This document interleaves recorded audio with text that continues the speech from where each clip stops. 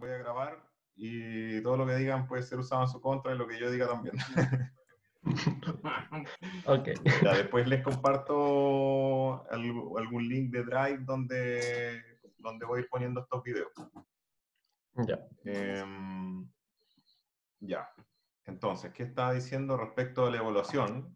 Em, Ah, ahora sí. Ya habíamos dicho hace tiempo que, que prueba no íbamos a tener, que íbamos a evaluar solo con tarea.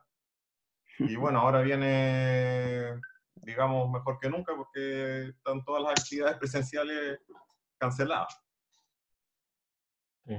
Em, eso respecto a la parte logística. No sé si hay alguna pregunta. Si no, em, partimos con la clase. Bueno, el GitHub ya se los compartí. Yo voy a estar em, creando y actualizando esta clase sobre la marcha. Sí, le, pi- le pido al que está metiendo ruido que mute, mantenga el micrófono en mute especialmente si están en algún ambiente con harto ruido y, y cuando quieran hacer una pregunta, eh, le sacan el mute. Sí, así de simple. Em, ya, entonces, eh, ahí tienen el GitHub para que, para que actualicen en el repositorio y, y si quieren pueden seguir el notebook eh, a medida que yo lo voy revisando. Ahora, ojo que este primer notebook, o sea, el, es de la unidad 4, que en este momento hay, hay dos, dos cuadernillos Júpiter. El segundo tiene puro desorden, porque no está armado todavía. El primero está como a medio armar. Ya. Pero la parte que vamos a ver hoy día debería, debería estar bien. Em, el- esto es como material que está siendo producido a medida que avancen las clases. Y por supuesto con las cosas que, con las discusiones que vayamos teniendo y, y las preguntas que ustedes tengan, yo lo voy a ir actualizando. Tu, tu, tu.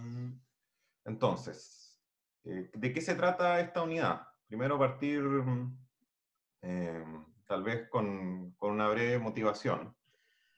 Em, cuando a mí me, me, me dijeron que participe en este curso, me dijeron, mira, este curso se llama Inteligencia Artificial. Y le dije, ah, ya, muy bien. Entonces asumí de inmediato que era un curso de aprendizaje reforzado. Porque aprendizaje reforzado es, es digamos, el gran paradigma con que hoy en día se, se, se, se aprenden inteligencias artificiales. ¿ya? Me sorprendí un poco cuando después vi el programa y, noté que era solamente Machine Learning.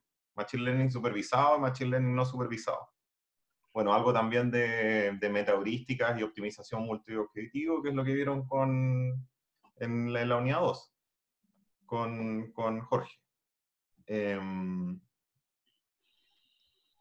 ¿Por qué? ¿Por qué podríamos explicar tal vez primero por qué pasa eso? O sea, hoy en día, em, aprendizaje supervisado, que es lo que vimos nosotros en la primera unidad, que es mapear, mapear de un dato a una etiqueta, tiene, eh, tiene un tremendo potencial, ya se ha superado eh, considerablemente al, eh, la capacidad humana, por ejemplo, en tareas de reconocimiento de imágenes, reconocimiento de audio.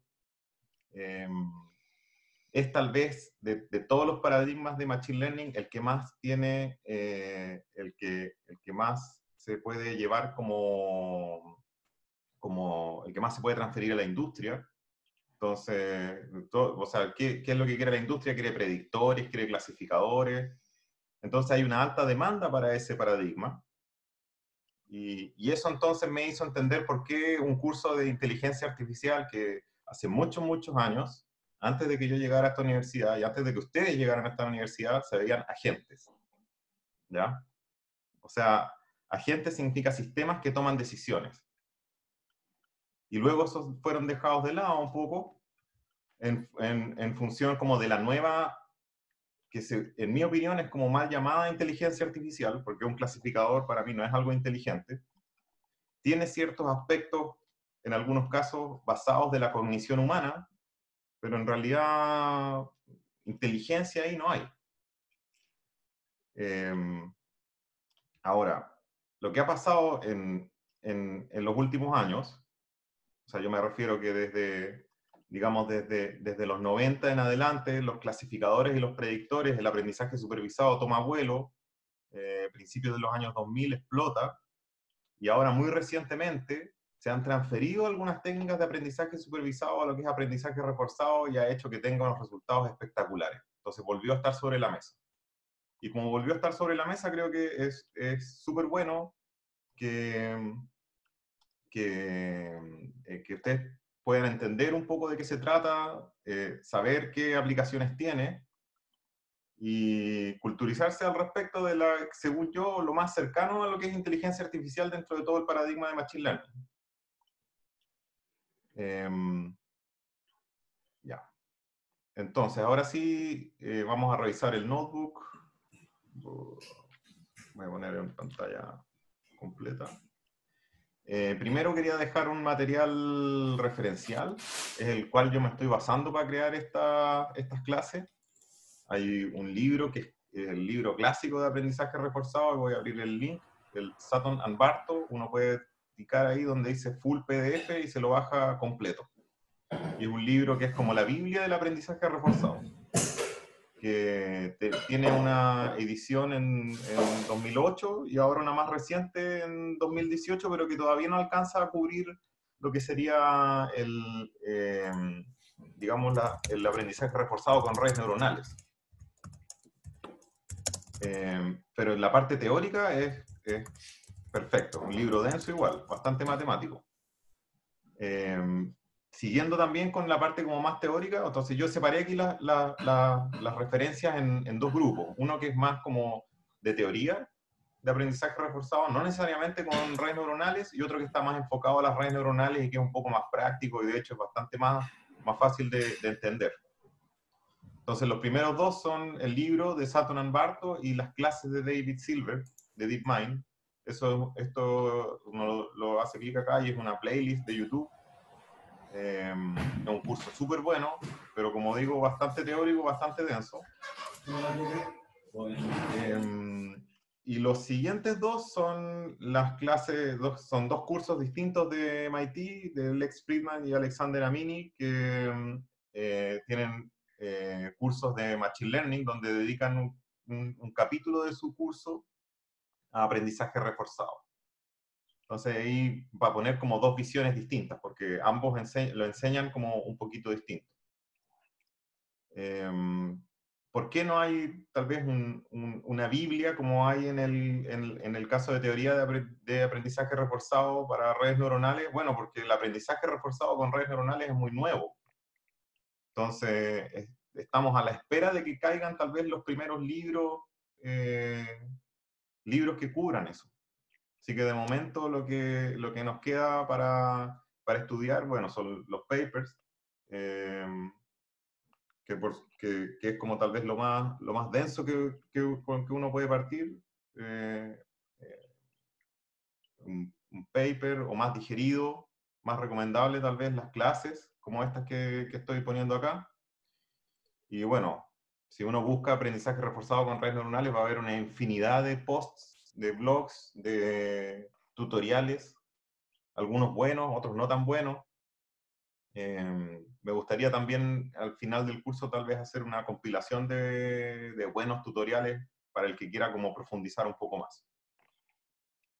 Ya, entonces, em, habiendo presentado las referencias, eh, quisiera hacer primero como un breve resumen de qué es lo que hemos visto hasta ahora, como para hacer un contraste, ¿ya? Seguir un poco con esto de, bueno, y, y, por qué el aprendizaje reforzado es distinto, qué tiene de distinto a lo que ya hemos estudiado con más profundidad. Entonces, recordemos cuál era el aprendizaje supervisado, cuál era su objetivo. Tenemos, eh, tenemos ejemplos etiquetados, ¿ya? Data etiquetada, donde X es la data, puede ser una imagen, puede ser un audio, puede ser un texto, puede ser una tabla simplemente, ¿ya? E Y son las etiquetas. Entonces, la que nos dice a este dato, a qué, categoría corresponde. Y se dice supervisado porque la etiqueta es algo que un humano le puso, ¿ya? O sea, aquí, eh, aquí es donde está como el conocimiento del experto. Y lo que nosotros queremos es un mapeo, una función f, ¿ya? Con, con parámetros, ¿ya? Que nos lleve de x a y. Eso es lo que queremos. Y típicamente lo que hacemos es ajustar esos parámetros para que este mapeo funcione bien. Y ese ajuste de parámetros lo hacemos con una función de costo. Entonces aquí yo puse, puse una en particular, una función de costo para clasificar. ¿ya? Una log verosimilitud eh, para el caso de clasificación.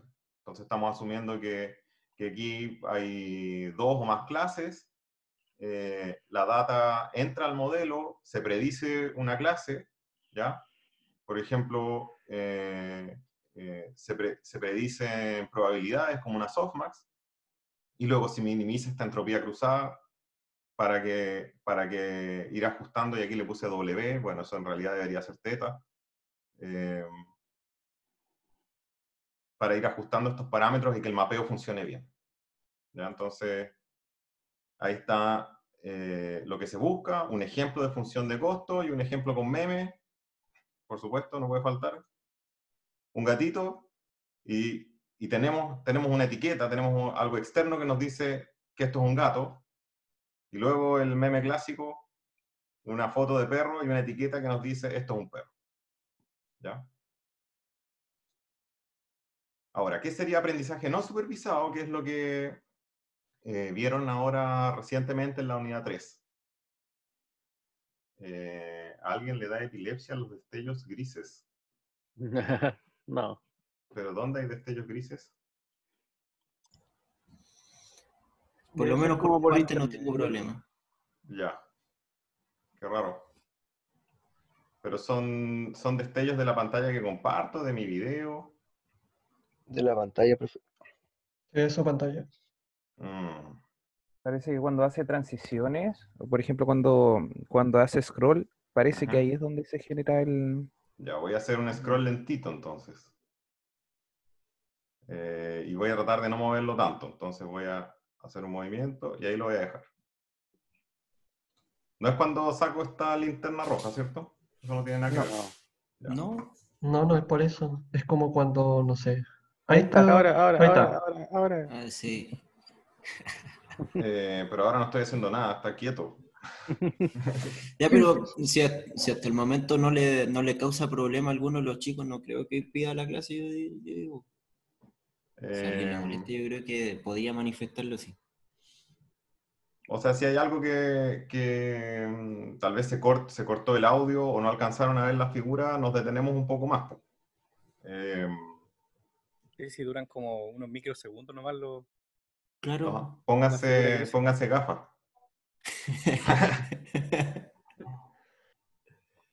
ya, entonces, aprendizaje no supervisado, que es lo que vieron con Eliana la unidad reciente. Eh, aquí lo que tenemos entonces son ejemplos, tenemos data, pero no tenemos etiquetas, ¿ya? No está el Y que teníamos antes. Entonces uno podría pensar, bueno, ¿y qué puedo hacer con datos que no tiene, que, no tiene etiqueta? Eh, lo que, digamos, enlaza a todos los algoritmos de aprendizaje no supervisados es que lo que hacen es buscar una representación de los datos y aquí tal vez me faltó una coma o algo para seguir explicando, una representación de los datos que nos permita entenderlos mejor. ¿ya? Eso puede significar reducir la dimensionalidad para poder visualizarlos o tal vez eh, encontrar elementos representativos ¿ya? que nos sirvan para clusterizarlo. Entonces ahí hay dos ejemplos, el ejemplo de PCA y el ejemplo de Camins. Y de hecho, encontrar esta representación también es un problema de optimización, también hay una función de costo, entonces en cierto sentido bastante similar al anterior. O tenemos alguna especie de modelo que nosotros imponemos sobre los datos y lo ajustamos. Eh, en este caso aquí estoy mostrando la función de costo de Camins, donde, donde Camins eh, tiene, tiene eh, K clusters, ese es nuestro modelo, K clusters, cada uno tiene un centro, entonces, el resultado de aprender, de aprender Camins es que yo voy a obtener K representantes de mis datos. Que después yo puedo mirar esos representantes y entender mejor la data sin tener que verla completa. ¿ya? Y esos representantes lo que, lo, que, lo, que están, lo que están haciendo es representando un conjunto de datos que son similares. ¿ya? Por eso es que la imagen que puse acá tiene estos cuatro perritos, se fijan aquí, yo no sé, digamos que yo no sé qué son, ¿ya? Tal vez no conozco mucho de razas de perros y no sé qué son, pero sí puedo saber, a pesar de que no tengo etiqueta, de que se parecen.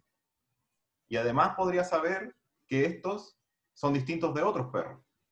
¿Se fijan? Entonces, simplemente con un sentido de similitud o, o, lo inverso, que sería disimilitud, eh, entre los datos, sin tener etiquetas, yo puedo, hacer, eh, puedo aprender un modelo que me ayude a entender la data mejor. Eso es aprendizaje no supervisado. Y ahora me voy a desplazar, perdón la epilepsia.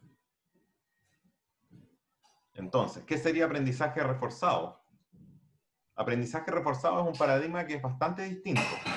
De hecho, tiene algunos aspectos que mezclan del supervisado y del no supervisado.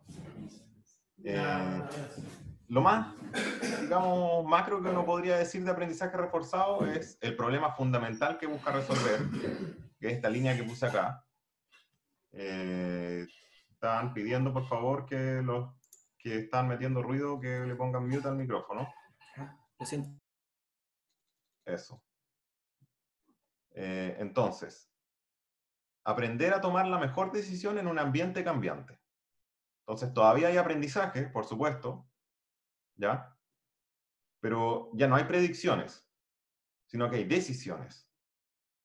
Eh, y eh, la data viene eh, o se, se obtiene desde un ambiente, y este ambiente puede estar cambiando. Entonces, este es el problema fundamental de aprendizaje reforzado. Por supuesto, la primera pregunta es ¿quién toma estas decisiones? ¿Qué es lo que estamos entrenando? ¿Un modelo? ¿Un sistema? Bueno, el sistema que es el que toma estas decisiones, ¿ya? En aprendizaje reforzado lo llamamos agente. Entonces, eh, tenemos un ambiente, un mundo, y tenemos un agente que puede interactuar con este mundo. ¿Ya? Eh, el agente, o sea, no se usa la palabra modelo porque el agente puede tener modelos internos puede tener un modelo del mundo, puede tener eh, un modelo de sí mismo. Así que eh, en general la, jerga de aprendizaje reforzado llama al, elemento que toma las decisiones a la gente. Después vamos a ir eh, poniendo esto más en concreto con algunos ejemplos. aquí hay otro elemento importante, dice aprender a tomar la mejor decisión. O sea, significa que la gente Estamos hablando de una gente que puede tomar varias decisiones, no solamente una, y tiene que escoger la mejor. Entonces, ¿cómo se define la mejor decisión en aprendizaje reforzado? Se define como aquella que nos, nos entrega o nos otorga la mayor recompensa. Eh, entonces, bueno, como que pasamos de, de, de, una cosa a otra, porque ahora tenemos que explicar lo que es la recompensa. Pero así es como quería presentar la, la, jerga de aprendizaje reforzado.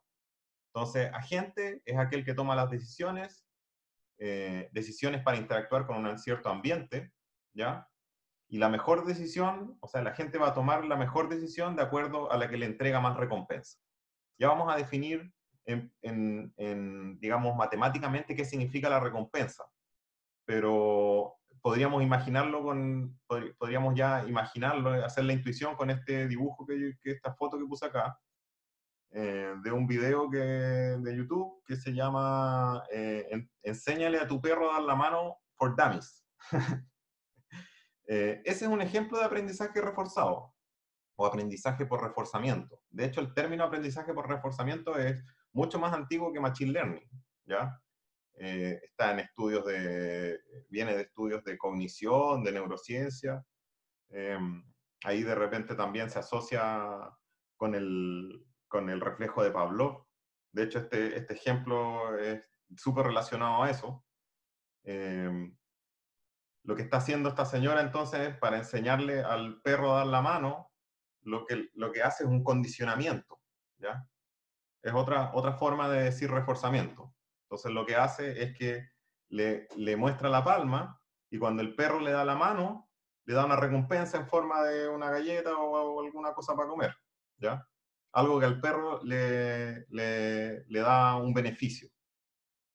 Eh, entonces aquí el, agente, es el perro, su ambiente, bueno, podríamos categorizar todo, toda la habitación como el ambiente, pero en realidad lo que, lo que interesa en esta como pequeña interacción es esta persona, ¿ya? Entonces, la persona, el ambiente aquí lo que va a hacer es juzgar, es juzgar si el perro eh, hizo bien su acción o no. La acción del perro podríamos, podríamos reducirla a da la mano o no da la mano.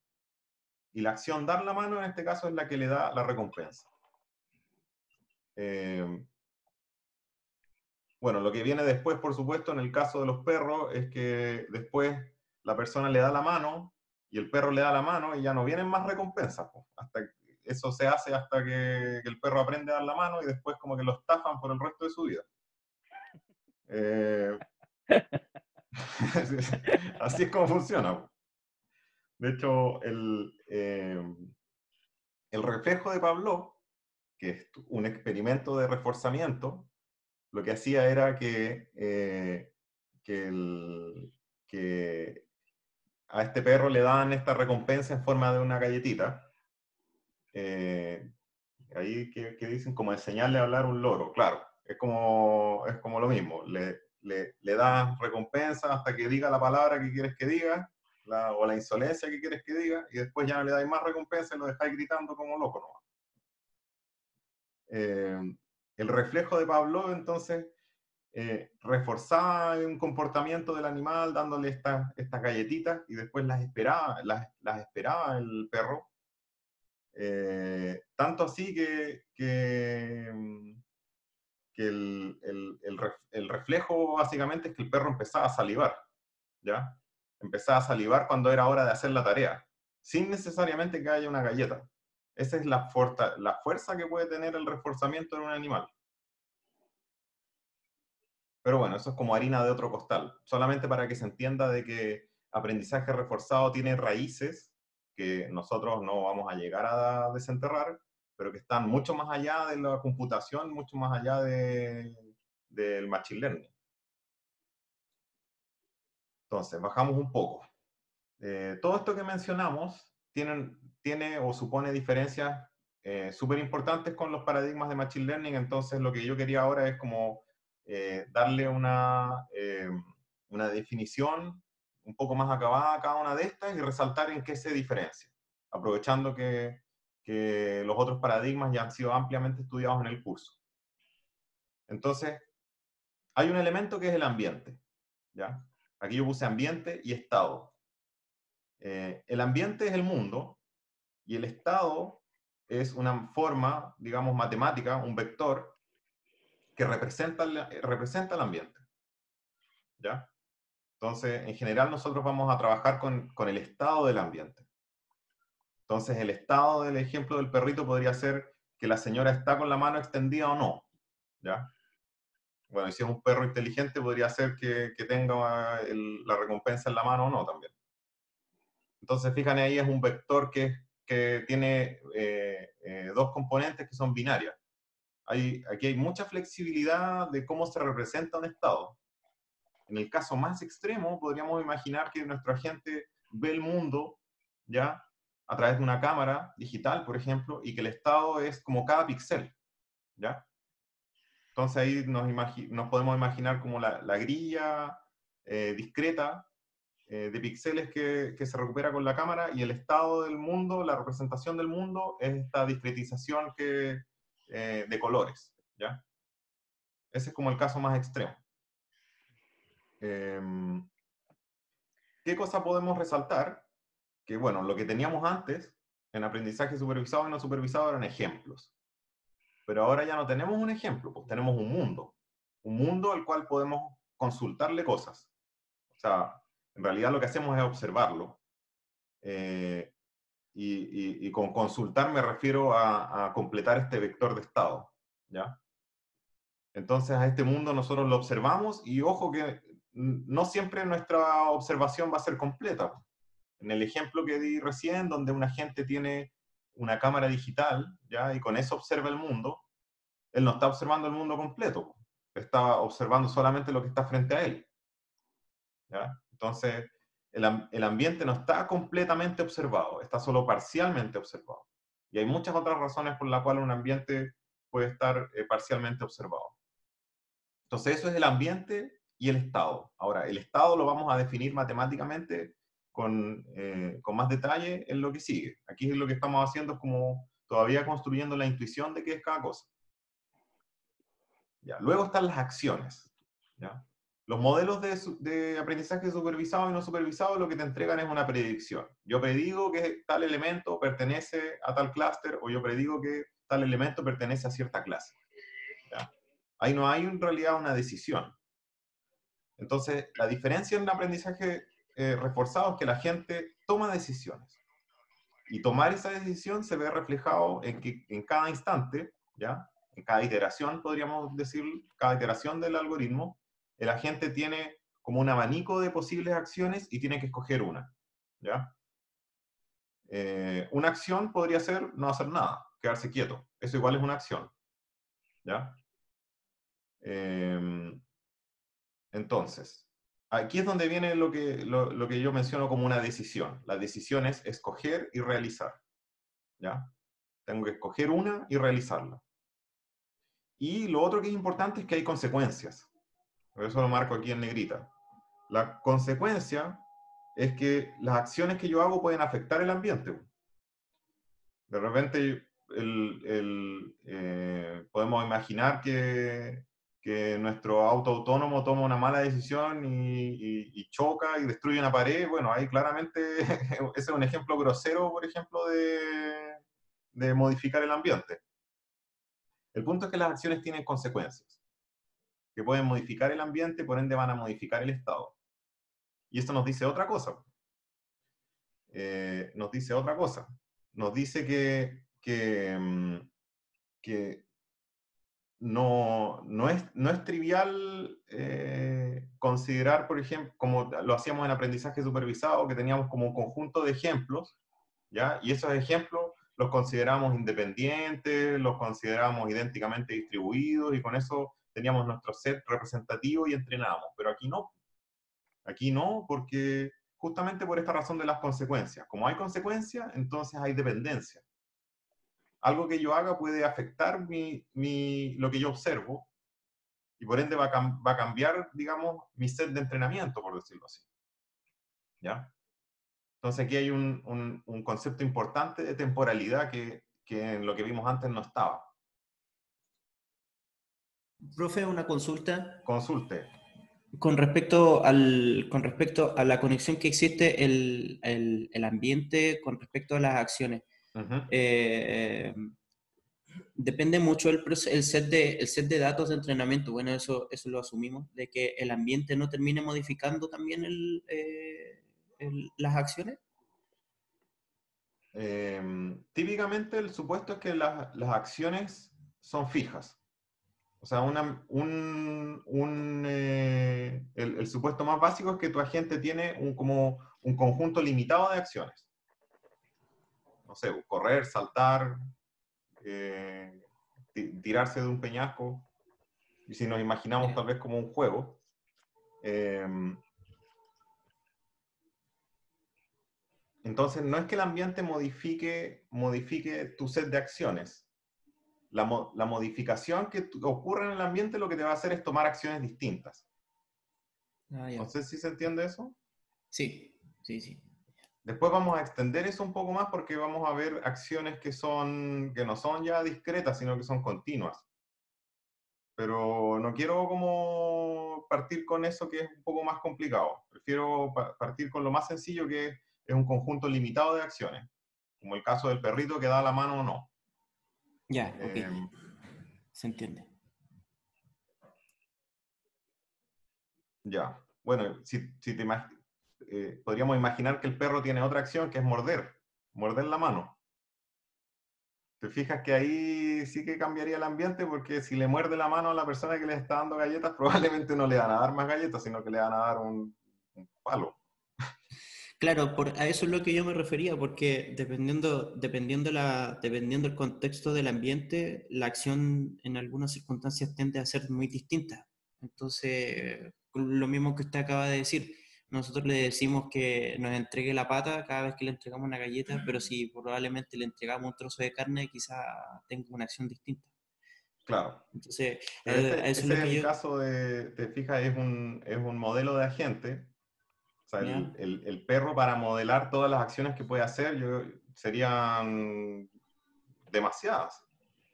¿Te fijas? Sería muy difícil modelar todas las acciones que puede hacer un perro.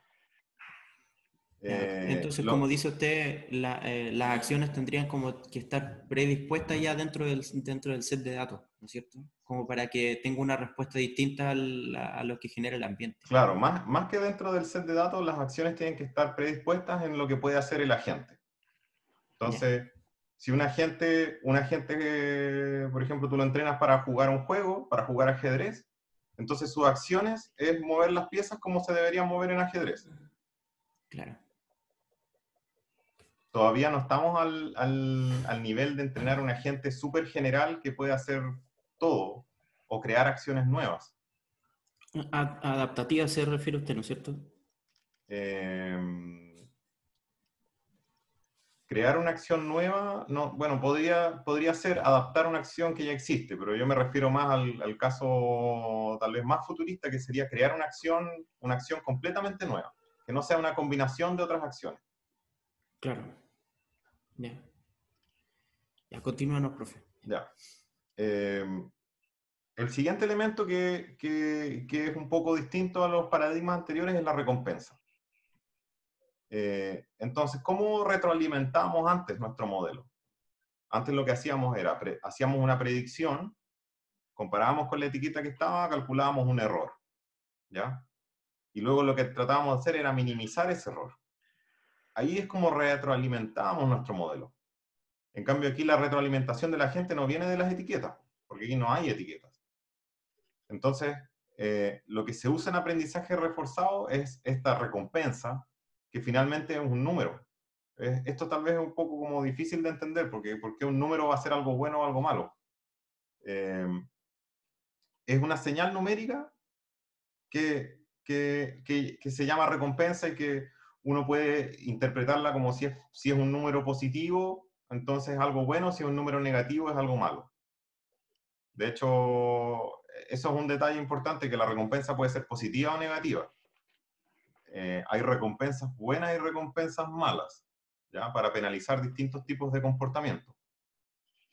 Em, y lo otro es que la recompensa está asociada a un estado, ¿ya? A uno o más. Entonces, eh, imaginemos lo siguiente, imaginémonos que, como, dije recién, tenemos un agente que quiere aprender a jugar ajedrez. La recompensa, eh, la recompensa podría venir de, de, varias cosas. Por ejemplo, la recompensa más grande claramente sería un jaque mate. Pero eliminarle una pieza al oponente también podría tener una recompensa un poquito más baja. Em, de hecho, si uno lo imagina, podría haber un problema grande si es que la recompensa de, tomar una pieza sea más grande que la del jaque mate. Porque podría ser jugadas que, le quitan piezas al otro, pero que no necesariamente van en pos de hacer el jaque mate y va a terminar perdiendo. ¿Ya?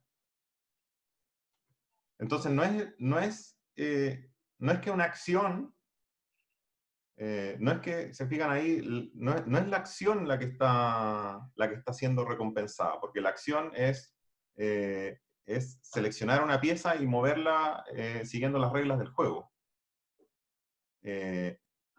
sino que la recompensa viene del Estado. en estos casos lo que usted intenta decir, profe, es como decir de que independiente de la respuesta solamente es una acción, no es algo que sea, no es que la respuesta sea equivocada, ¿no es cierto? Claro, no hay una acción equivocada. Eso, eso tal vez es una buena forma de verlo. Eh, todas las acciones, todas las acciones en, su, en un contexto podrían ser buenas o podrían ser malas. Y de hecho, usualmente Pero en definitiva usted dice que son, usted dice que son como respuestas en definitiva nomás. Claro. Ah, eh, de hecho, uno en el caso del ajedrez, uno tiene que imaginar que no es lo, importa, lo importante, por ejemplo, si hace, hace jaque mate, no es la última acción sino que son todas las acciones. Es un conjunto de acciones. Entonces, ese conjunto de acciones, lo cual tiene una recompensa. No es que haya una acción en particular que sea buena o que, o que sea necesariamente mala. Todo depende de su contexto. Em, ya. Entonces, bueno, la recompensa puede ser positiva o puede ser negativa. Podría, po- podríamos hacer una recompensa negativa si queremos penalizar algún comportamiento. Más adelante, más abajo, tengo un ejemplo que probablemente lo vamos a ver en la próxima clase, pero que podría ser útil comentarlo ahora, que es el de estas aspiradoras que, que se manejan solas, aspiradoras autónomas, las famosas Roomba. Eh, entonces nosotros, eh, por ejemplo, la- el, el comportamiento de esa aspiradora, hay varias, varios objetivos a los cuales nosotros podríamos ponerle recompensa. Una recompensa, por ejemplo, podría ser que se vaya a cargar cuando le queda poca, le queda poca batería. Eso sería una recompensa positiva. Y una recompensa negativa sería tirarse por la escalera para abajo. ¿Ya? Ahí entonces penalizamos un estado. Haberse, haber, haberse metido en, el- en la escalera, eso es algo que es negativo. Em, ya, recompensa. Entonces, haciendo como un resumen, un resumen de las diferencias clave con los otros paradigmas. Con respecto a la supervisión, a la gente no se le dice si una acción es buena o no. Son los estados los que son buenos. Entonces significa que un conjunto de acciones que te llevaron a un estado bueno, todo, todo eso es eh, lo, que se, mm, lo que se retroalimenta. ¿Ya? Pero no estamos como en el paradigma supervisado donde, está, donde lo que tendríamos que hacer es dar pares estado-acción y decir este es bueno y este es malo. Eso no funcionaría para entrenar a una gente, por ejemplo, que, que haga algo que no está en el set de entrenamiento. Que crea una jugada nueva, por ejemplo. Lo segundo es la prueba y error. Aquí hay también algo interesante. ¿Cómo la gente, la gente va a probar cuál acción es buena o no? Bueno, lo que se hace es que la gente cuando se está entrenando, eh, lo que se hace es que él va probando cada una de las acciones y las prueba una a una hasta llegar, por ejemplo, a una, si- siguiendo como una rama, un camino, hasta llegar a un estado terminal. Y ahí se puede, se puede luego decidir si, si eh, dado el estado donde está, la acción que tomó fue buena o no. ¿Ya? Dependiendo a dónde llegó. Pero para eso requiere prueba y error. Tiene que ir probando cada una de las acciones, probándolas y midiéndolas. Eh, eso supone igual un problema importante para el, eh, estos algoritmos en el mundo real. po. Porque si se imaginan un auto autónomo, no es como que puedas eh, llegar y hacerlo, meterlo en un ambiente y decir, ya, prueba y error. ¿Cuántas veces se va a tirar por el barranco y cuántas veces va a atropellar gente? Entonces ahí es donde entra, eh, eh, y se toma mucha importancia el tema de la simulación. Eh, simulación se refiere a, ser capaz de simular un ambiente, entrenar a la gente ahí y después transferirlo al mundo real. Así es como se está haciendo hoy en día los autos autónomos. ¿Ya? En otros casos, por ejemplo, la inteligencia artificial de, de un videojuego, bueno, ahí no hay para qué crear un simulador porque el videojuego en sí ya es un simulador. Eh, otro punto importante es el tema de la temporalidad, que como ya dije, tanto cuando yo estoy entrenando y cuando yo estoy ejecutando, como tengo que ir haciendo acciones y las acciones son secuenciales y dependiendo de lo que yo haga el ambiente cambia, ya no se puede asumir que hay eh, que, que, que- que es ID. Eh, sí, Le gané ¿alguien la mitad porque la otra mitad estaba bien fea. ¿Qué pasó? Estaban como, estaban con hongo, con cosas así, pues. ¿Cómo? Ya la, la parte de afuera y, y, y por dentro igual están medio feitos algunos. Pero ¿Quién- igual, fue- igual salió una, una- un plato lleno. ¿Quién está con hongo? No, pues sí fue igual, un plato grande. Felipe, muteate. Por favor, mute. Felipe, mutea tu micrófono. A ver, tal vez yo lo puedo mutear. Eh, sí, ahí lo muteé. Se va de kick. Está puro metiendo entropía al canal. Ya. eh, bueno, esperemos que solucione su problema con los hongos. Algo terrible. Ah, dígamelo a mí que tengo mi casa inundada en este minuto. Eh, ya, entonces, temporalidad. eh, como dije, la gente eh, va, se mueve en este mundo y en este mundo existe el tiempo. Hago una acción, luego viene otra y cada una va modificando el estado, entonces no se puede asumir independencia. O sea, la dependencia es algo crucial, la temporalidad es algo crucial. Eh, el cuarto punto que es interesante es que es, lo que llaman el, el- feedback delay, que traducido literalmente sería retraso en la retroalimentación. O sea, cuando, cuando yo predigo en aprendizaje supervisado, inmediatamente puedo calcular el error y retroalimentar mi modelo. ¿ya? Pero aquí no. Aquí yo hago una acción y esa acción podría no tener recompensa. Y después hago otra acción y de nuevo sin recompensa y otra acción, de nuevo sin recompensa, no sé, hasta que avanzo y avanzo y avanzo y hago el jaque mate. Y ahí recién tengo la recompensa y ahí recién retropropago. Entonces, eh, uno podría imaginarse que esto nos da varios problemas, pues, porque si la recompensa está muy, muy lejos en el futuro, entonces este retraso podría ser muy grande. Obviamente hay problemas de, eh, con, con- con la memoria, hay problemas matemáticos, podríamos eh, hasta cierto punto empezar a olvidar lo que hicimos al principio que nos llevó a ese estado. Em, así que esto es un desafío, es un desafío grande y una diferencia también clave con los otros paradigmas. Eh, ya, y hasta ahora todo esto, toda esta conversa ha sido más o menos eh, para formar una intuición nomás. Ahora lo que me gustaría hacer es pasar eh, como a formalizar un poquito más el concepto, ¿ya? De aprendizaje reforzado. Em, a formalizarlo, a ver algunos ejemplos más, de hecho, y después ya ver como full eh, de cabeza la matemática. Em, ahí vemos qué nos alcanza para la clase de hoy. Entonces, ¿cuál es el objetivo de la gente? Todavía sin matemática y, sin, y, y solo, digamos, en prosa. Es seleccionar las acciones que maximizan la recompensa acumulada futura. ¿Ya?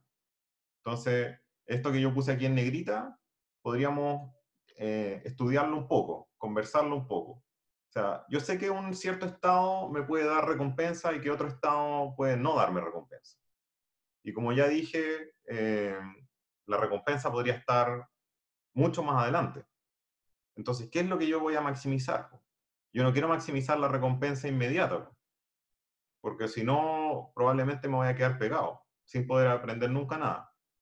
Lo que yo quiero es maximizar la suma, la suma de las recompensas que voy ganando a medida que hago acciones. Eso es lo que se llama la recompensa acumulada futura. ¿ya? Es simplemente la suma de la recompensa que obtengo ahora, que voy a obtener en la siguiente iteración y así sucesivamente. Entonces, eso ya me da una función, eh, me, da, me da un número que el cual yo puedo maximizar para ir seleccionando mis acciones. Eh, ya vamos a ver en qué, en qué consiste esta maximización y en qué consiste seleccionar la acción. Pero es importante primero entender que no estamos trabajando con una recompensa inmediata, sino una recompensa acumulada. ¿ya? Eh, aquí hay también una frase que, que es interesante. O sea, al trabajar con una recompensa acumulada y no con una recompensa inmediata, entonces podríamos tener esto, podríamos, podría, podríamos tener esta situación, eh, como, que es como lo que dije antes en el ajedrez, a veces, a veces podríamos eh, abandonar una recompensa intermedia, por ejemplo, matarle la reina al, al jugador contrario, si eso nos lleva a una recompensa final mayor, que sería, por ejemplo, hacer un jaque mate. ¿Ya? Si yo solamente me concentrara con, las, con las recompensas inmediatas o, intermedias y no con la recompensa total, final, ¿ya? que es lo que se llama la recompensa acumulada, entonces no necesariamente voy a llegar a, ganar el juego. ¿ya? Eh, ya, eso con respecto al objetivo de la gente. Ahora ya sabemos qué es lo que la gente está haciendo o que quiere hacer. Luego hay una hipótesis también asociada a esto, que es la hipótesis en la cual se sustenta el aprendizaje reforzado, y es que todo objetivo puede ser representado en términos de una maximización de recompensa. ¿ya? Eh, si un objetivo no puede ser representado como eso, entonces no podemos entrenar a un agente de aprendizaje reforzado. Em, ya. Entonces, el objetivo y la hipótesis de recompensa. Y nosotros vamos a, vamos a asumir que esta hipótesis, esta hipótesis se cumple. Y vamos a ver distintas maneras en que un objetivo puede convertirse o puede modelarse como una recompensa.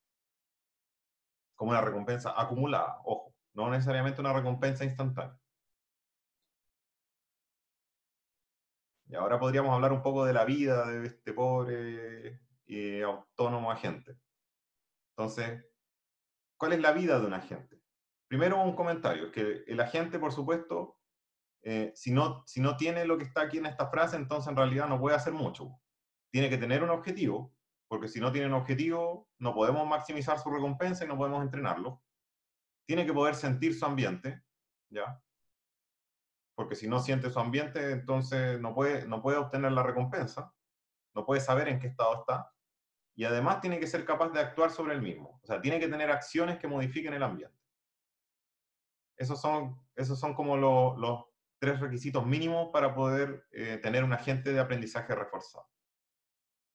Eh, para hablar de la vida de un agente tenemos que hablar primero, por supuesto, del tiempo. ¿ya? Porque la vida de un agente es algo dinámico, no es algo, no es algo que, ocurre, que ocurre de forma offline, es algo que ocurre a medida que el tiempo progresa. Y, el supuesto típico que se hace es que el tiempo es discreto. ¿ya?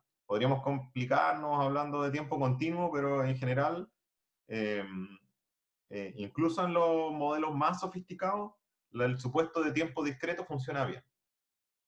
Eh, entonces tenemos un tiempo que no es continuo, no está en segundos, sino que está en épocas. 0, 1, 2, 3, 4 y así sucesivamente. ¿ya? Podemos hablar de instantes también. Em,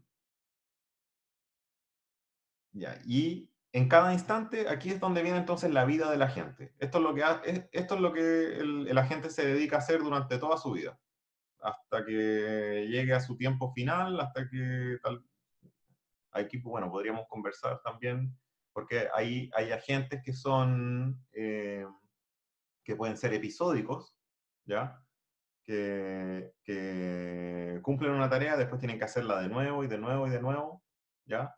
Como podría ser el, el, el caso de, de, estos robots que arman autos, que están haciendo constantemente lo mismo.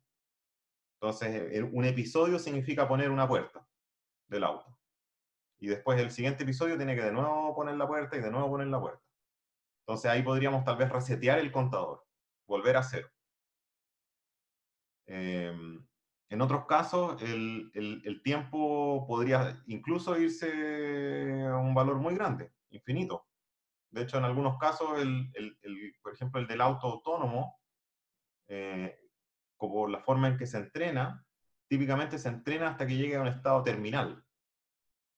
Y el estado terminal es hacerse bolsa, chocar contra una pared. Eh, y la idea es entrenarlo tal que ese tiempo nunca llegue, que sea infinito. Entonces ahí no hay, no hay un episodio. Después podríamos tal vez, o sea, eso se puede como, como hacer subramas, por ejemplo, si es un auto autónomo que es un taxi, tal vez el taxi sí tiene un episodio que es desde que toma una persona y la deja en otro lado, ¿ya? Pero e, eso para resaltar las diferencias con respecto al tiempo. Entonces, para cada instante T, ¿qué es lo que hace la gente? Primero, recibe recompensa del ambiente, ¿ya? Observa el ambiente y realiza una acción. Em, esto es lo que hace entonces en una, en una época, por decirlo así. Dependiendo de dónde, de dónde está en este minuto, el, el ambiente le entrega una recompensa eh, luego eh, lee el, vector de estado, ¿ya? que es su representación del ambiente, y en base a eso escoge una acción. Y esa acción lo que hace, por supuesto, es llevarlo a un, nuevo, a un nuevo estado. Entonces, en pseudocódigo uno puede imaginarse que esto es como un for simplemente, de 1 hasta un estado terminal o un número muy grande, y en cada estado lo que hace es obtener recompensa, la recompensa inmediata, eh, que después se puede ir sumando para obtener la recompensa acumulada, leer el vector de estado y en base a eso escoger una acción.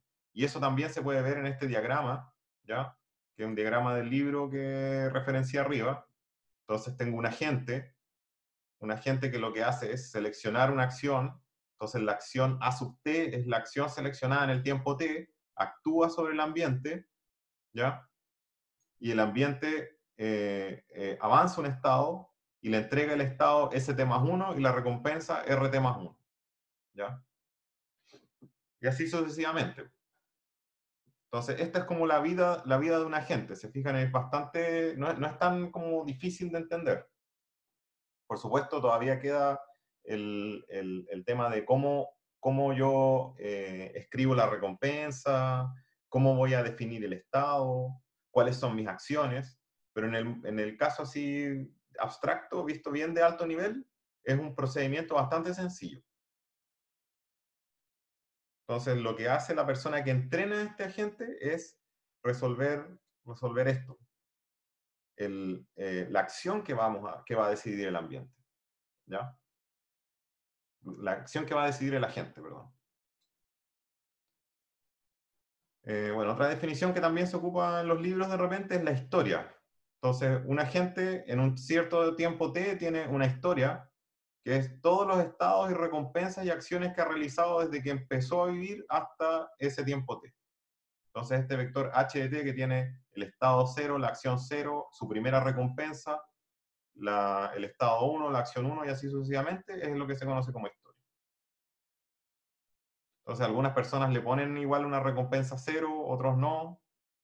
Eh, es- eso como no, no- no va a ser un, no va a ser un gran cambio en el algoritmo. Lo usual es asumir que el estado cero no, no tiene recompensa. Alguien pidió la mano, pero a mí no me ha sonado ningún, ningún ruidito.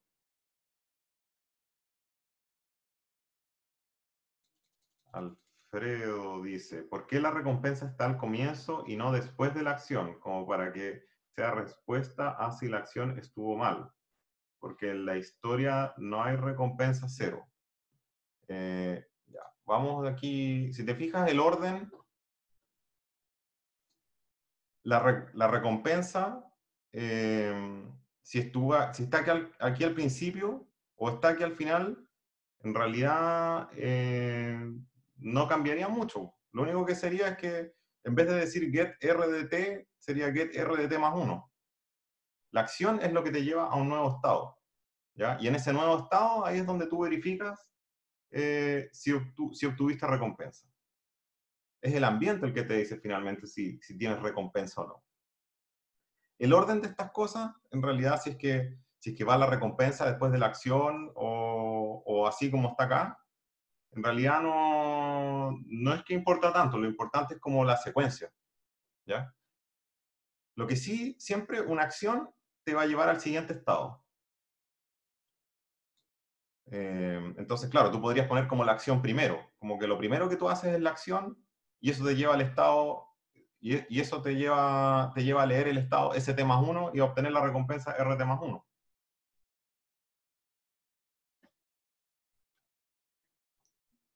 También respecto a, si lees el estado o si lees la recompensa, el orden de esas dos, en realidad no es que tú tengas que leer el estado para saber, para saber cuál es la recompensa. Supuestamente el ambiente te entrega esas dos señales, directo. Entonces, si te entrega una primero o la otra después, da lo mismo.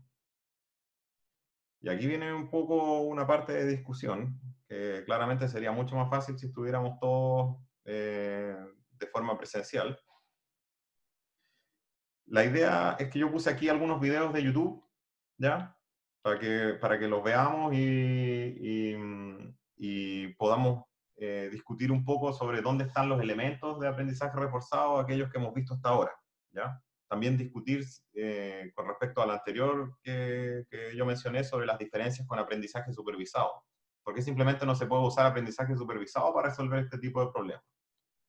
Entonces vamos a poner el primero. Em,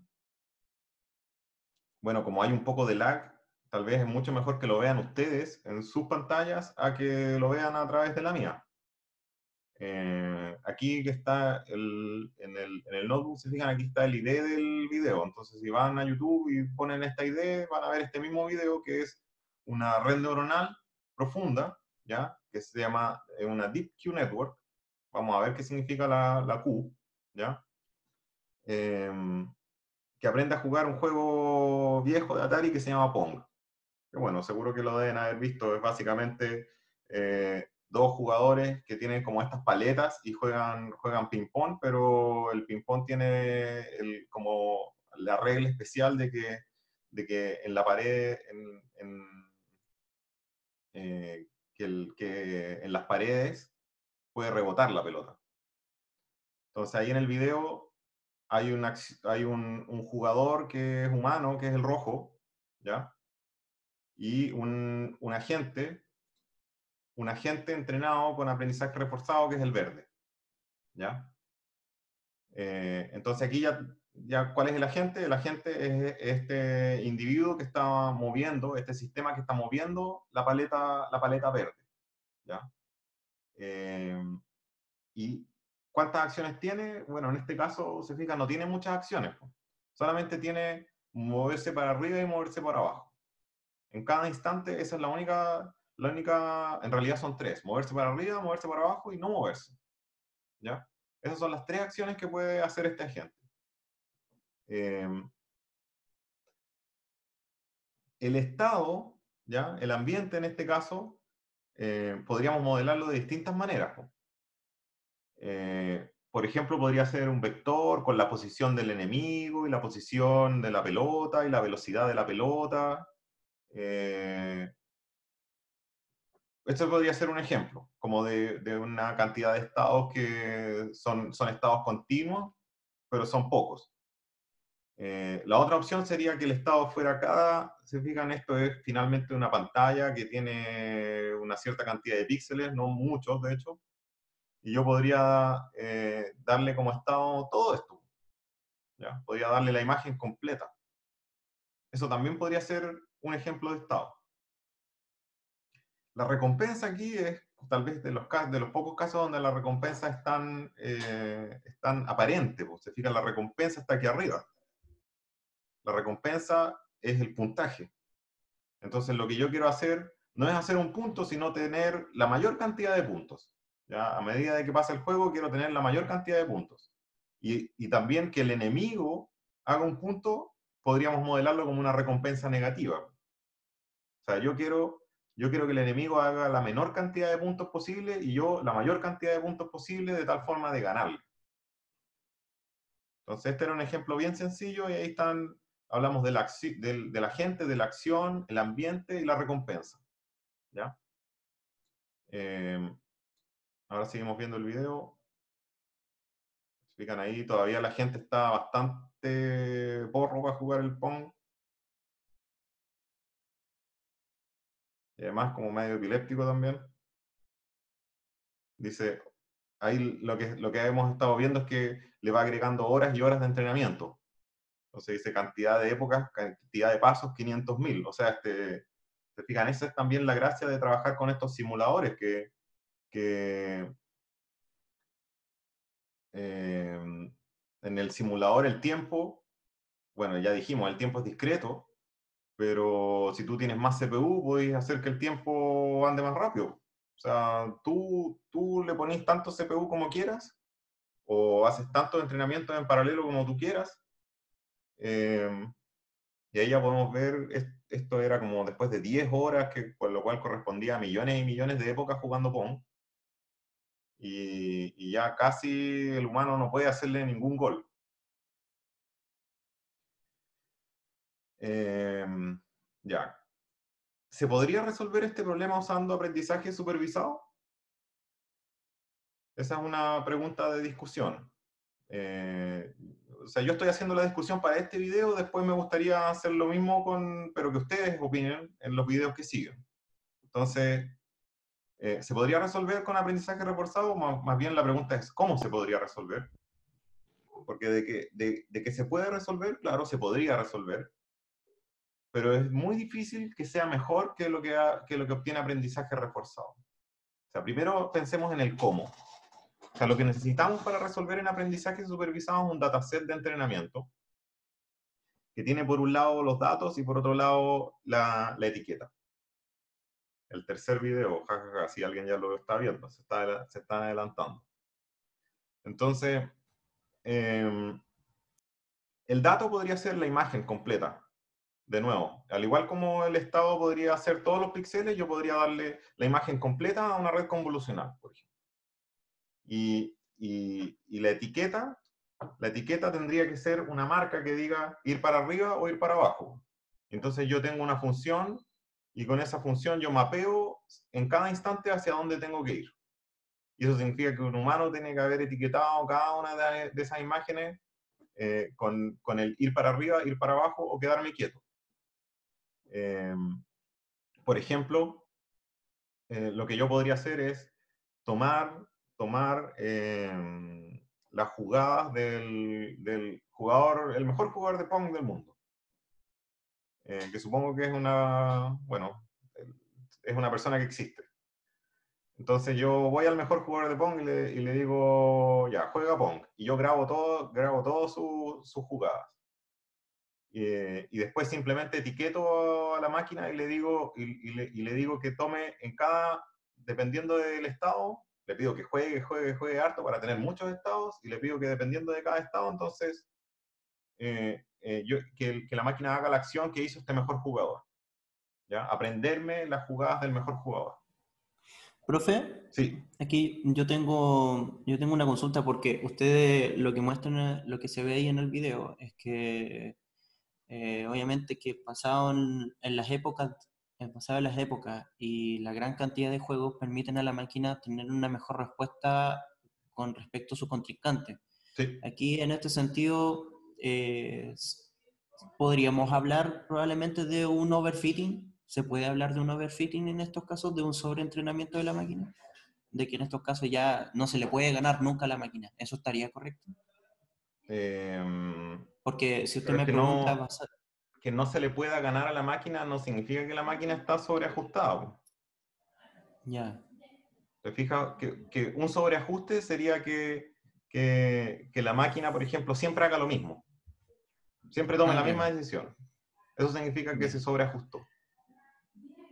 Pero para ganarle a un humano, eh, claramente la máquina no puede estar sobreajustada, porque el humano toma decisiones distintas. Si, si hubiera una estrategia que el humano pudiera explotar, entonces, que, que, no sé, pues, que la máquina, por ejemplo, cuando que se quede, se quede pegada en una esquina, entonces el humano fácilmente podría aprender eso y explotar eso para ganarle a la máquina. Claro. ¿Te fijas? El sobreajuste en aprendizaje reforzado no es, no es que no le puedas ganar a la máquina, es que la, la máquina haga, por ejemplo, siempre la misma acción y que sea súper predecible. Claro. Y, y eso, el, el sobreajuste igual es algo que existe en aprendizaje reforzado. Pero se ve como desde otro punto de vista. De hecho, se ve como lo que deben haber estudiado con Jorge, que es el dilema de la, de la exploración y la explotación. ¿Les suena? Claro. Entonces, aquí la gente tiene que ir probando sus acciones de una por una. Y, y- y finalmente la gente tiene que decidir, por ejemplo, ya, digamos que la gente encontró una acción que lo llevó a una recompensa. Y la gente podría decidir, ya, sabes que yo no exploro más, yo me exploto esto y hago siempre lo mismo. Eso sería un sobreajuste. En cambio, eh, eh, explorar y nunca explotar sería también algo negativo, porque estaría siempre haciendo cosas distintas, medio random y probablemente ninguna le daría, le daría muy buena performance. Entonces la idea de la gente es, tratar de, que explote lo que encuentra que es bueno, pero que además explore para que pueda, eh, para que pueda digamos, enfrentarse al, al ambiente al ambiente, a, todos los posibles ambientes. Te fijas, aquí el, ambiente puede ser muy cambiante. Un jugador, un, un humano distinto, jugando Pong, podría tener una estrategia completamente distinta. Claro. Y si la máquina siempre hace la misma estrategia porque esa fue buena para derrotar a tal persona, eh, ahí, podría haber un, ahí podría haber un sobreajuste. Claro, basado en lo que usted menciona, entonces el sobreajuste, el sobreajuste igual puede estar eh, ligado a lo- al problema de la recompensa igual, ¿no es cierto? Eh, mm, no sé cuál es el problema de la recompensa. Porque si en estos casos, si no se, si no se obtiene una buena recompensa al momento de realizar la acción, eh, probablemente la máquina no tome una buena respuesta. Eh, claro, pues, pero es que por eso es que no se, no se toman decisiones en base a la recompensa inmediata de ejecutar una acción, pues, sino que se toman decisiones en base a la recompensa acumulada, ¿ya? O sea, las que, el conjunto de acciones que te hacen ir mejor. Y ahí está el, el tema de la exploración y la explotación. eh, to- todavía no hemos visto como el formalismo matemático completo para explicarlo, pero está muy relacionado, por ejemplo, a, a- a cuánta, a, a cuánta importancia tiene la, la- a cuánto, a cómo yo balanceo eh, estar bien ahora y estar bien en el futuro. ¿Ya? Eh, si, yo le doy demasiado balance al estar bien ahora, entonces, eh, entonces eso sería una estrategia como más explotadora. En cambio, si yo le doy más balance, más peso al futuro, eso sería una estrategia más exploradora. Y la idea es que estén balanceados. pues, No puede uno ser demasiado superior al otro. Porque en un caso me voy a sobreajustar y en el otro caso voy a hacer puras jugadas estúpidas. ¿Te fijas? Claro, se comprende. Ya. Eh, pero sí, es buena pregunta, porque el sobreajuste igual existe. Y, y vamos a tener que, vamos a ver cómo, cómo ingresa aquí en los algoritmos que vamos a aprender. Ya, ese era un ejemplo de Pong. El segundo ejemplo es, eh, es uno del- de, los ejemplos que vienen en el OpenAI Gym. El Gym el- es una librería que de hecho nosotros vamos a ocupar posiblemente ya la próxima clase que tiene hartos como simuladores ya listos para entrenar inteligencias, eh, inteligencias artificiales de aprendizaje reforzado. Y esta es una de las, de las pruebas que hay en, el, en este gimnasio de OpenAI que se llama carrera de autos. Entonces ahí le estoy poniendo play. Eh, se ve que el auto avanza. El número que está... eh, hay, un, hay un número que está a la izquierda, que no es la época, sino que, si no me equivoco, es la recompensa. Y las barritas verde y roja son las acciones. Entonces aquí hay una, una diferencia, eh, una diferencia importante con, con el caso anterior. Eh, lo voy a poner pausa. Hay una diferencia importante con el caso anterior. Porque el caso anterior tenía tres acciones. Era un conjunto de acciones que era discreto. Izquierda, o sea, arriba, abajo y quedarse quieto. Pero aquí la acción, eh, aquí no hay dos acciones. O sea, veo dos, esa barrita verde y esa barrita roja, que una es el acelerador y la otra es el freno.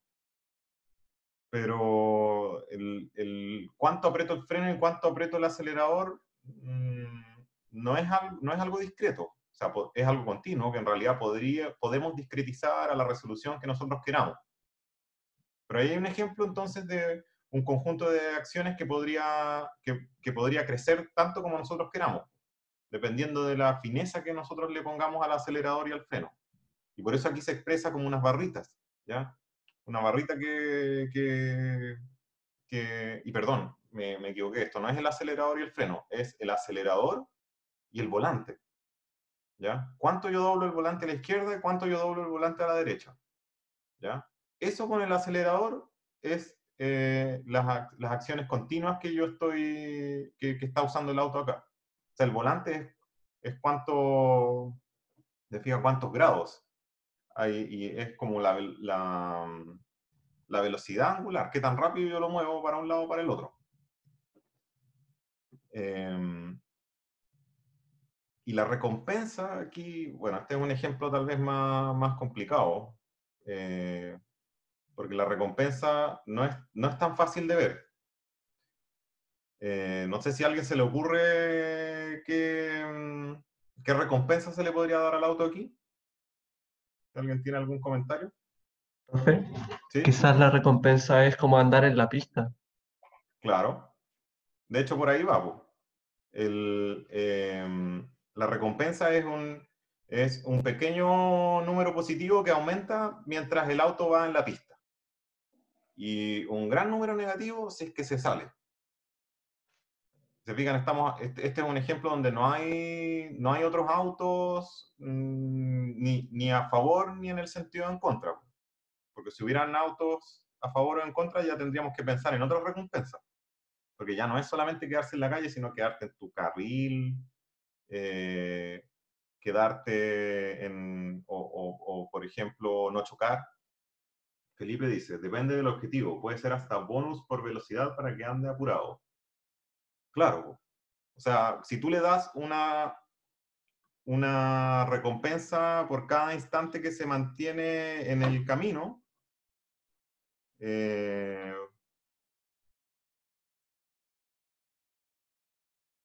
se podría quedar quieto. Se podría quedar quieto. Tiene que ser una recompensa por cuánto avanza. Tiene que ser una recompensa por cuánto avanza. Y, y efectivamente, si tú quisieras que vaya rápido, entonces tal vez la recompensa aumenta a medida que va más rápido. Eh, lo cual se puede medir aquí fácilmente porque tú tienes el acelerador del auto.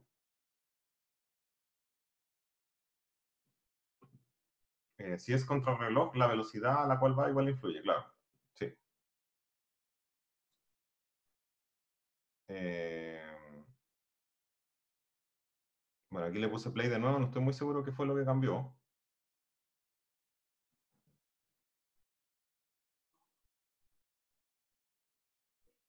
Porque el anterior no se veía como que no estuviera entrenado, andaba bastante bien.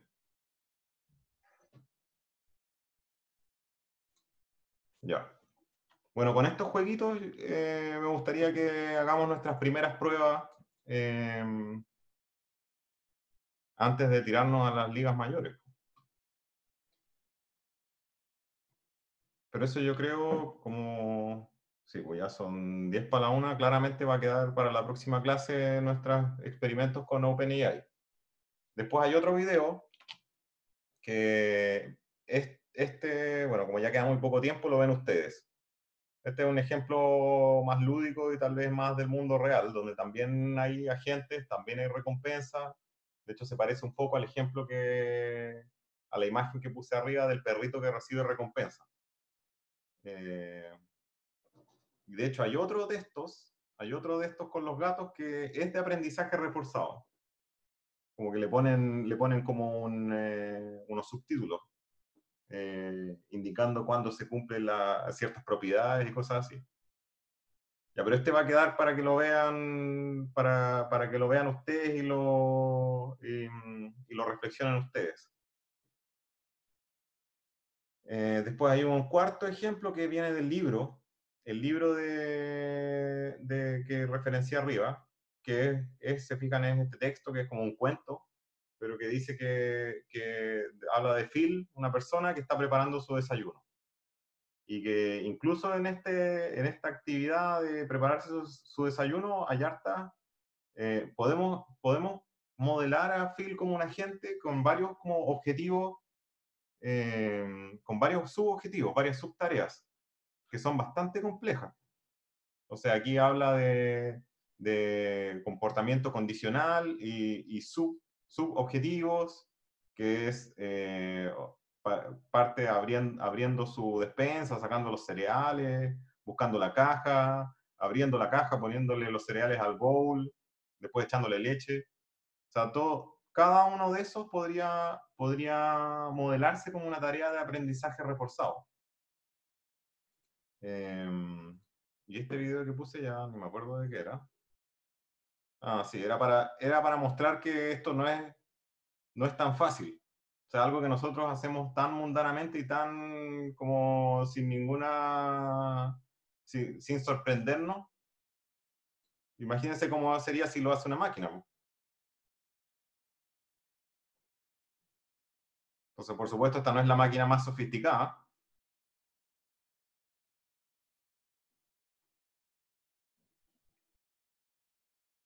Yo creo que con eso ya se entiende que eh, ya se entiende que algo que para nosotros es súper fácil, para una máquina no necesariamente es tan fácil. Hay muchas decisiones y acciones que nosotros estamos tomando, tanto de movimiento como de, digamos, más de alto nivel, como si voy a comer chocapico, estrellita. Eh, pero muchas también que son de movimiento. O sea, para nosotros es súper natural estirar el brazo y tomar la taza, pero eso todo, todo eh, se podríamos, se- si, si, si se quisiera como enseñar a un robot, tú tendrías que decirle, bueno, pero ¿cuánto tengo que estirar para tomar la taza? ¿Cuánto tengo que apretar la mano para tomar la taza? Si aprieto mucho la voy a romper. Si estiro demasiado voy a- la voy a botar. Entonces, fijan, hay muchas decisiones que se están tomando ahí y que no son triviales. Pero sin embargo, esas, todas esas se podrían modelar como un problema de aprendizaje reforzado. Bueno, justamente porque esto es difícil, es que todavía las mucamas robots no, no son una, digamos, realidad al 100%. Hay algunos hoteles con, uno, con unos robots que, que, que te llevan cosas, eh, o incluso algunos que te hacen la cama, pero, pero solamente funcionan bien en unos ambientes bien controlados. Em, de hecho, asociado a esto, hay un video que después se los voy a mandar, que es muy bueno, que es de, una, de la conferencia de, de Neural Processing Systems, que es NIPS, que es tal vez la conferencia más importante de redes neuronales y Machine Learning, y es creo que de 2017. Y, y ahí mostraron, un investigador mostró un video de un- unos robots, un, un robot eh, así con- en una casa con rueditas, con un brazo y que eh, pasaba la aspiradora y le llevaba jugo al- a, su dueño y, hacía todo tipo de tareas eh, como las que estábamos mencionando recién, pero las hacía perfectas. Las hacía súper bien, no se equivocaba nada. Y todos quedaron así como, no sé, llegó la inteligencia artificial. Eh, pero en realidad la revelación era que ese robot estaba siendo controlado remotamente por un humano. Eh, pero lo que quería mostrar ese video es que eh, el problema que, hay hoy en día para que eh, en, en la robótica no es, no es como del lado mecánico, ¿ya?